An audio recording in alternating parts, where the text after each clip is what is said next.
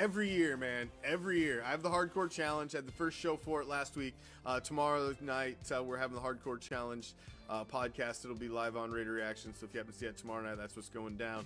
It's the official webcast of the Hardcore Challenge, the pinnacle of fantasy football competition. I've been running that league as the commish for 14 years now. Um, it, commish of leagues for almost over two decades. And then I kind of brought all those down into this one master league that I put together. This was my grand vision, and it's the greatest fucking league in the history of fantasy football. It's the Hardcore Challenge. It's the pinnacle fantasy football competition. But now I've put together, emulated that, took the Hardcore Challenge formula, and now we're playing a full Raider Nation league as well. This is the only other league I'm ever going to fucking do.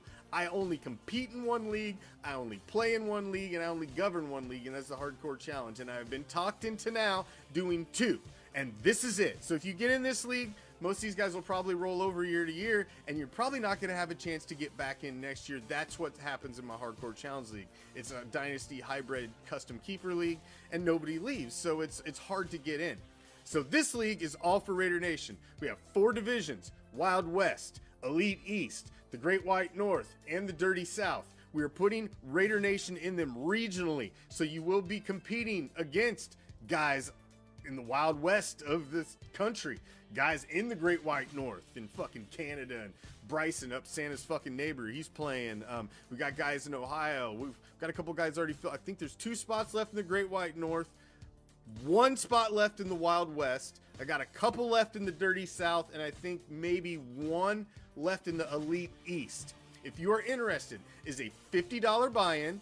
It is thousand dollars, over a thousand dollars in cash and prizes. If you win the league, uh, there's 16 other owners. If you win the league, we're playing a divisional schedule. You'll play all of your division rivals twice, just like the National Football League. If you win the league, you get an autographed Josh Jacobs jersey as well as 400 bucks. Uh, runner up is a large Raider Reaction prize pack full of swag worth way more than your entry fee, and there will be uh, Reaction prize packs for all four of the division winners as well. So we're giving out a ton of prizes, and I'll probably be doing flash prizes throughout the uh, season as well because that's just how I like to give away shit.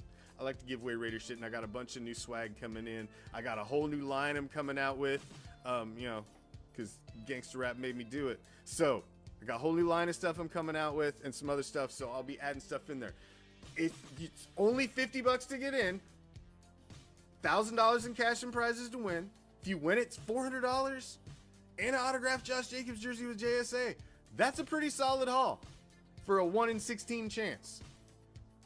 We're gonna have a dedicated segment on the on the um, page. We're gonna have a live segment dedicated to the show, just like I do for the Hardcore Challenge. Um, we're gonna spotlight game of the weeks. We're gonna have your games in the league up on our podcast. We're gonna follow it throughout the season. So if you are interested in getting in, the draft is August 21st. The league is over half full already. There are limited spots in each division. You will be placed geographically based on where you live as to where you'll be competing against Raider Nation. So if you're interested in getting in, we do have spots in each division, but they're going quickly.